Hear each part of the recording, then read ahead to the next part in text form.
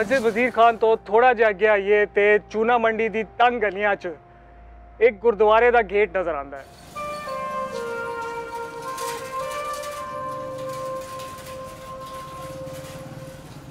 ਲਾਹੌਰ ਸ਼ਹਿਰ ਦੇ ਦਰਵਾਜ਼ਿਆਂ ਬਾਰੇ ਵੀਡੀਓ 'ਚ ਤੁਸੀਂ ਇਸ ਗੁਰਦੁਆਰੇ ਦੀ ਝਲਕ ਜ਼ਰੂਰ ਵੇਖੀ ਹੋਣੀ। ਸਿੱਖੀ ਦੇ 10 ਗੁਰੂਆਂ 'ਚ ਸਿਰਫ ਇੱਕ ਗੁਰੂ ਦੀ ਪੈਦਾਇਸ਼ ਲਾਹੌਰ ਸ਼ਹਿਰ ਦੀ ਹੈ। ਉਹ ਨੇ ਗੁਰੂ ਰਾਮਦਾਸ ਜੀ। ਤੇ ਇਹ ਗੁਰਦੁਆਰਾ ਉਹਨਾਂ ਦੇ ਜਨਮ ਸਥਾਨ ਤੇ ਬਣਾਇਆ ਗਿਆ ਹੈ।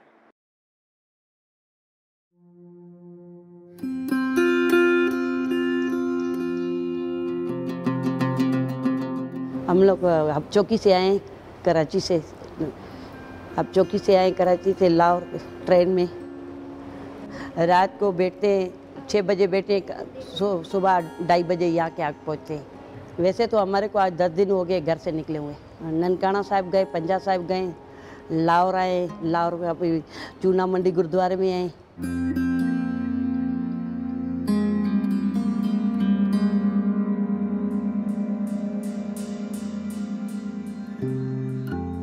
ਲਾਹੌਰ ਜ਼ਿਲ੍ਹੇ ਦੇ ਅੰਦਰ ਦੋ ਬਹੁਤ ਵੱਡੀਆਂ ਸਿੱਖ ਹਸਤੀਆਂ ਜਿਨ੍ਹਾਂ ਦਾ ਜਨਮ ਹੋਇਆ ਉਹਨਾਂ ਦੇ ਵਿੱਚੋਂ ਇੱਕ ਬੇਬੇ ਨਾਨਕੀ ਦੂਸਰੀ ਜਿਹੜੀ ਹਸਤੀ ਸਿੱਖ ਧਰਮ ਦੇ ਚੌਥੇ ਗੁਰੂ ਗੁਰੂ ਰਾਮਦਾਸ ਜੀ ਦਾ ਜਨਮ ਲਾਹੌਰ ਸ਼ਹਿਰ ਦੇ ਅੰਦਰ ਹੋਇਆ।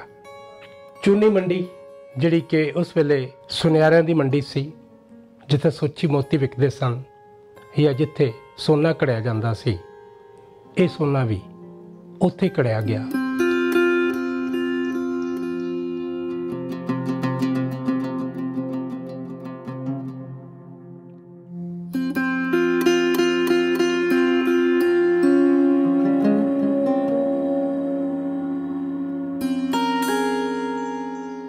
ਮਹਾਰਾਜਾ ਰਣਜੀਤ ਸਿੰਘ, ਜਦ ਉਹਨਾਂ ਦੇ ਘਰ ਵੱਡੇ ਸਪੁੱਤਰ ਖੜਕ ਸਿੰਘ ਦੀ ਪੈਦਾਇਸ਼ ਹੋਈ, ਤਦ ਉਹਨਾਂ ਦੀ ਜੋ ਵਾਈਫ ਸੀ, ਉਹਨਾਂ ਨੇ ਉਹਨਾਂ ਨੂੰ ਅਰਜ਼ੀ ਕੀਤੀ ਸੀ ਗੁਰਦੁਆਰਾ ਸਾਹਿਬ ਦੀ ਬਿਲਡਿੰਗ ਨੂੰ ਤਾਮੀਰ ਕਰਨ ਵਾਸਤੇ। ਤਦ ਉਹ ਜਿਹੜਾ ਨਕਸ਼ਾ ਸੀ, ਉਹ ਹਰਮੰਦਰ ਸਾਹਿਬ ਤੋਂ ਲੈ ਕੇ ਆਏ ਸੀ। ਤੁਸੀਂ ਵੇਖ ਸਕਦੇ ਹੋ same dimension like Harmandar Sahib.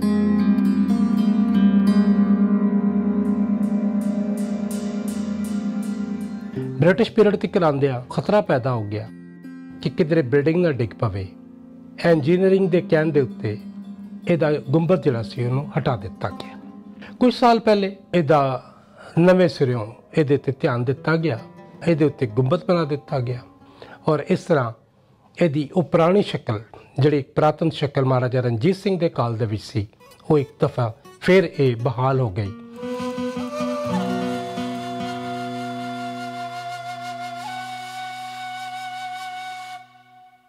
ਜਦੋਂ ਤੁਸੀਂ ਮੁੱਖ ਦਵਾਰ ਤੋਂ ਅੰਦਰ ਵੜਦੇ ਹੋ ਤੇ ਤੁਹਾਡੇ ਸੱਜੇ ਹੱਥ ਦੇ ਉੱਤੇ ਅੱਜ ਵੀ ਉਹ ਪੁਰਾਣੀ ਸੈੱਲ ਜਿਹੜੀ ਹੈ ਉੱਥੇ ਕੱਟੀ ਹੋਈ ਹੈ ਤਾਂ ਕਿ ਪਤਾ ਹੋਵੇ ਕਿ ਇਹ ਪੁਰਾਣੀ ਹੀ ਬਿਲਡਿੰਗ ਹੈ।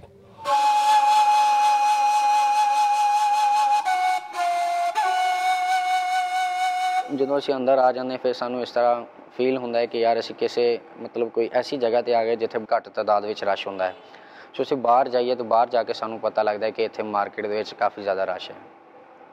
ਇੱਕ ਖੁੱਲਾ ਏਰੀਆ ਨਹੀਂ ਹੈ ਤਾਦਾਦ ਵਿੱਚ ਘੱਟ ਹੀ ਸੰਗਤਾਂ ਇੱਥੇ ਜਿਹੜੀਆਂ ਹੈ ਦਰਸ਼ਨ ਕਰਨ ਵਾਸਤੇ ਨੇ ਤੇ ਕਾਫੀ ਜ਼ਿਆਦਾ ਰਸ਼ ਹੋਣ ਕਾਰਨ ਜੋ ਸੰਗਤਾਂ ਨੂੰ ਪਤਾ ਵੀ ਨਹੀਂ ਚੱਲਦਾ ਕਿ ਇੱਥੇ ਗੁਰਦੁਆਰਾ ਸਾਹਿਬ ਵੀ ਮੌਜੂਦ ਹੈ हर साल आते हैं जब वैसे मन दिल में कुछ आ जाता है क्या कहते हैं जाके आप दर्शन करके आए बाबे के ट्रेन पे आते हैं रक्षों पे जाते हैं गाड़ी अपनी नहीं है बाबे का हुक्म बनता है तो हम यहाँ जाते हैं ना देने वाला भी पैसा वो है वो खर्च करवाने वाला भी वही है